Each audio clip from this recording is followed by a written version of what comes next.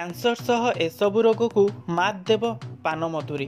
Hello friends ମୁଁ ସ୍ୱାଗତ କରୁଛି ଓଡ଼ିଆ ଫିଟନେସ୍କୁ ତେବେ ଭିଡ଼ିଓଟି ଦେଖିବା ପୂର୍ବରୁ ଚ୍ୟାନେଲଟିକୁ ନିଶ୍ଚିତ ଭାବରେ ସବସ୍କ୍ରାଇବ୍ କରିଦିଅନ୍ତୁ ଏବଂ ପାଖରେ ଆସୁଥିବା ଘଣ୍ଟି ଆଇକନ୍କୁ ଦବାଇ ଦିଅନ୍ତୁ।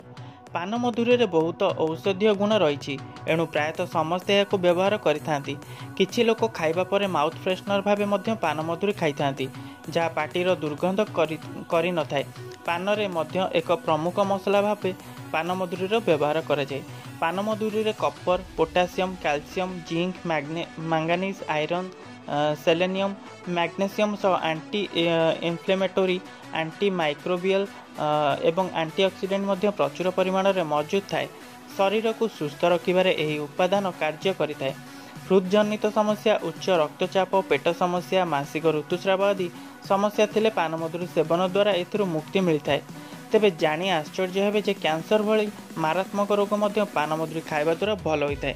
ପାନମଧୁରୀ କ୍ୟାନ୍ସରକୁ ମୂଳପୋଛ କରିଥାଏ କହିଲେ ମଧ୍ୟ ଅତ୍ୟୁକ୍ତି ହେବ ନାହିଁ। କୋଲେଷ୍ଟ୍ରୋଲ କମାଇବାରେ ପାନମଧୁରୀର ଭୂମିକା ଗୁରୁତ୍ୱପୂର୍ଣ୍ଣ। ପାନମଧୁରୀରେ ଅଧିକ ପରିମାଣରେ ଫାଇବର ରହିଥାଏ ଯାହା କୋଲେଷ୍ଟ୍ରୋଲ କମାଇବାରେ ସାହାଯ୍ୟ କରେ।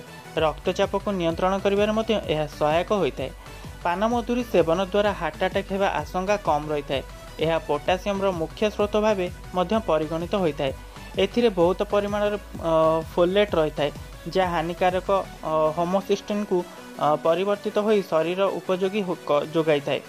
ପାନମଧୁରୀରେ ମାଙ୍ଗାନିଜ୍ ଭଳି ତତ୍ତ୍ୱ ରହିଥାଏ।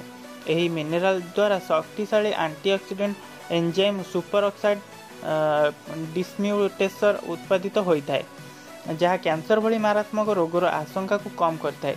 ତ୍ୱଚା ପେଟ ଓ ସ୍ତନ କର୍କଟର ସମ୍ଭାବନାକୁ କମ୍ କରିବାରେ ଏହା ସାହାଯ୍ୟ କରେ।